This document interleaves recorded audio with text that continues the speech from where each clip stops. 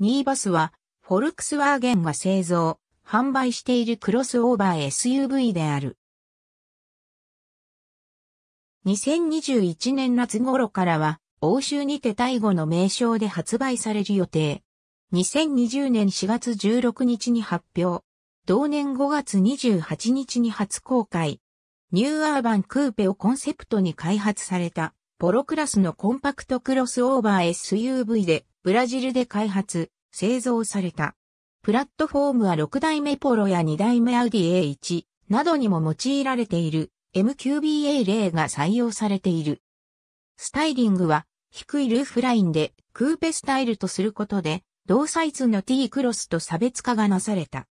ヘッドライトやデータイムライト、フォグランプには LED が用いられ、最新の VW モデルであることを主張。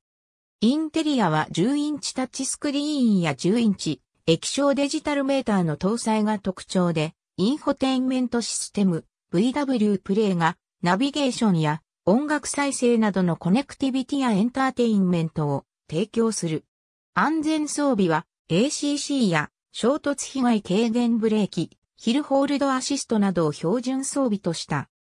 搭載されるエンジンは 200TSI と呼ばれるフレックス燃料に対応した1.0リットル直列3気筒 TSI エンジンでガソリンを使用した場合は最高出力 116HP エタノールを使用した場合は最高出力 128HP を発揮。これに6速 AT を組み合わせる。ありがとうございます。